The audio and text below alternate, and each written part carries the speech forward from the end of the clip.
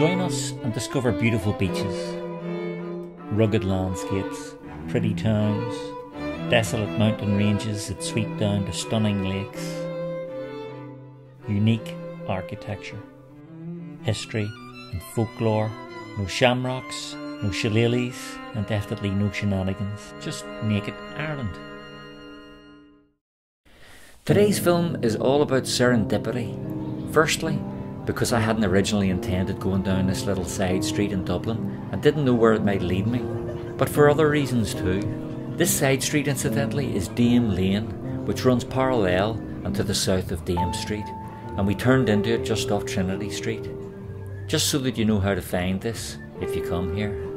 The other level of serendipity happened when I edited the video and used one of my usual pieces of music. And I kind of liked how it blends with the dance music emanating from this nightclub.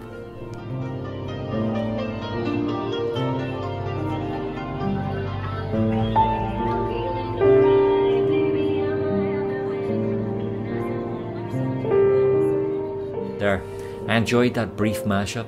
It's the simple things sometimes that please.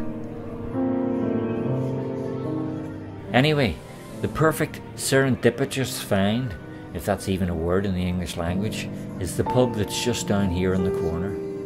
Very easily missed. It's the kind of place you might have to seek out if you're interested.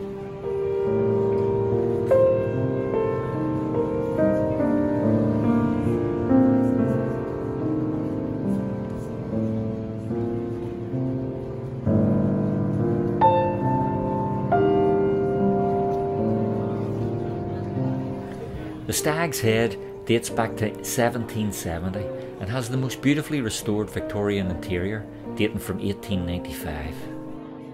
One of the pub's claims to fame is that it starred in the brilliant Michael Caine and Julie Walters film Educating Rita. I'll let you re-watch the film to see if you can spot the Stag's Head.